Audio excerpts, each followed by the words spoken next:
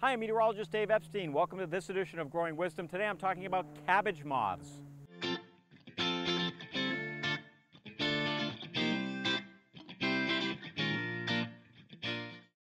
If you grow broccoli, cauliflower, kale, collards, any of the brassicas, you may likely have a problem with the cabbage moth. That's that white moth you see flying around sometimes.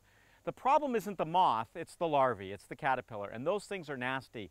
And in the fall, especially, you can kind of forget about treating things. So I just want to remind folks to use spinosad. It is organic. It's a great product to use on your brassicas.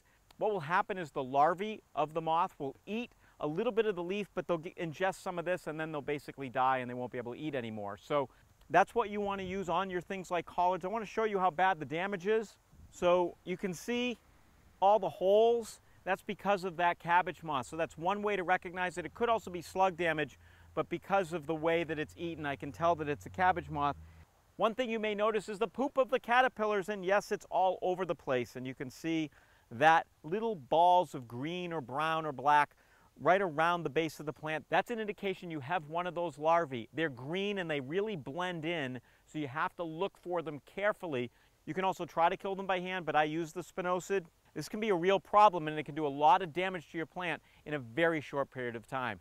So if you have damage on your brassicas any time of the year, but I'm noticing them here in fall, it may be the larvae of the cabbage moth that's really doing a number on your plants. Spinosad, that's the thing I treat them with. So we've talked about the cabbage worm here, which is the green one, but then we've got this other larvae here, and this is a serious problem. This is called the cross-striped cabbage worm, and that's the smaller one with the yellow band on it. So these are part of the major caterpillar pests that attack your plants, and the striped one tends to be the worst in the fall. Uh, I'm really, again, recommending that you use the spinosad there. For Growing Wisdom, I'm Dave Epstein.